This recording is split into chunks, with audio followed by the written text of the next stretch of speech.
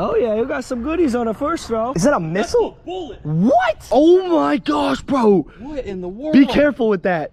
That might be explosive, dude. That's some sort of like artillery round, bro. Do not drop that. Before we leave, we have to figure out if that is an explosive round because I do not want to be driving down the road with an explosive in the back of my trailer. 25 millimeter round. that's some heavy duty stuff right there, man. All right, Blake just looked it up and it is 100% a military round, but 0% explosive.